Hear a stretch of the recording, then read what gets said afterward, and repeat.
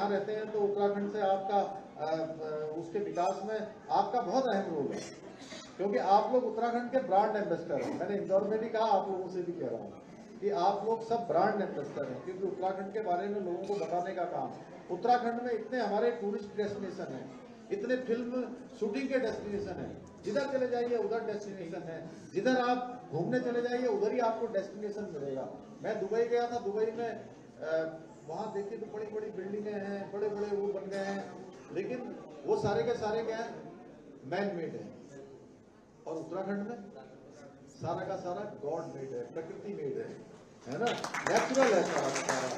तो इसलिए उत्तराखंड आने के लिए लोग पूरी दुनिया के लोग आ रहे हैं और उत्तराखंड में अपना योगदान देना चाह रहे हैं। तो आपकी तो पुत्रों, आपके तो पूर्वजों की भूमि है, आपके पितरों की भूमि है, आपके तो जड़ें वहाँ से है इसलिए मैं आप सबको यह भी कहना चाहता हूँ कि आप उन जड़ों से जुड़े रहिए आइए। और आपने भूपेंद्र जी जो आपने मुझे कहा है कि हम कुछ योगदान के लिए तो आप मुझे एक अपना वो दे देंगे मुझे। मैं ज़रूर जो भी हमसे हो पड़ेगा ज़रूर करेंगे इसमें। आप लोगों का पूरा सहयोग करेंगे अजमेर में भी अजमेर में भी जो वहाँ पर हमारा उन्होंने एक धर्मशाला बनाया है हमारे क्या है? पुष्कर जी में। वो जो देखते हैं वहाँ।